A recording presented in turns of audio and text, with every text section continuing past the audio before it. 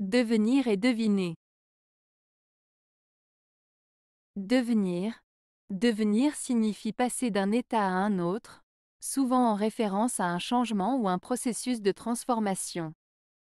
Il est utilisé pour décrire une action ou un événement qui conduit à un changement d'état ou de statut. Exemple 1. Laura veut devenir médecin. 2.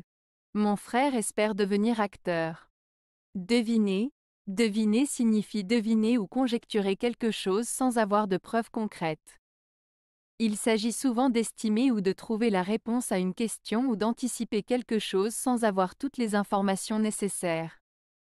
Exemple 1. Peux-tu deviner ce qu'il y a dans cette boîte? 2. J'ai réussi à deviner le mot secret du jeu. La principale différence entre devenir et deviner réside dans le sens et l'utilisation des mots.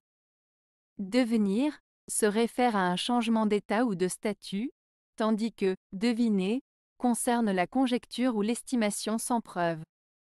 Devenir est utilisé pour décrire un processus de transformation ou un changement de situation, comme le fait de devenir médecin ou acteur.